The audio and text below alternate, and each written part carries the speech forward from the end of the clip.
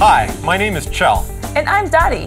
and we're NASA astronauts. As astronauts, we spend a lot of time in the gym, working out and preparing to go into space.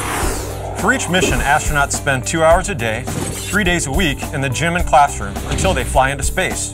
The cool part is, most of the training we do here in the astronaut gym, you can do too, wherever you are. For astronauts in space, having strong core muscles keeps them safe from injuries and helps them perform tasks well. Today we're going to share an activity that will help you improve your abdominal and back muscle strength. Get ready. Building an astronaut core will help you train like an astronaut. For the building an astronaut core activity, all you need is a good flat surface and a stopwatch. Let's begin with the Commander Crunch. First, lie down on your back and make sure that your feet are flat on the floor. Your chin should be pointed to the ceiling and your arms cross over your chest with your fingers touching your shoulders.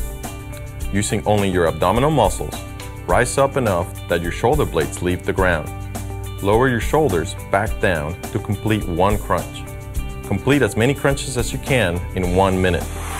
Make sure to keep good body form to avoid injury. Now try the pilot plank. Lie down on your stomach, make a fist with each hand, and push your body off the floor, supporting your weight using only your forearms and your toes. Your body should be as straight as a board, from your head to your feet. Stabilize your body by tightening the muscles in your abdomen and back. Try and hold this position for at least 30 seconds. Both exercises help you develop your core. Maintaining a strong core will help you protect your spine and transfer energy through your body during difficult tasks.